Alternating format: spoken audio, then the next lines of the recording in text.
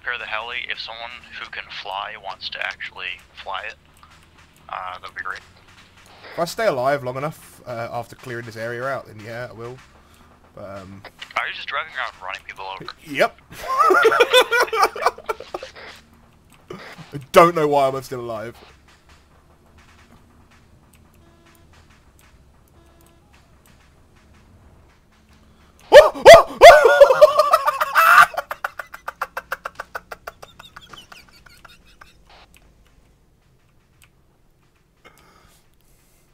glove